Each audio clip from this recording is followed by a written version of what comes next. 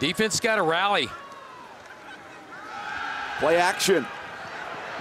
With some time toward the end zone. Sam Mays. Wow, the penalties are a killer. The Illini take the lead with a minute 35 to go.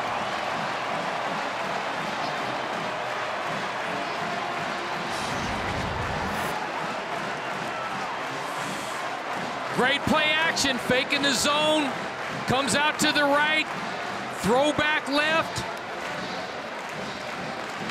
gets Fry out of position. Is a touchdown.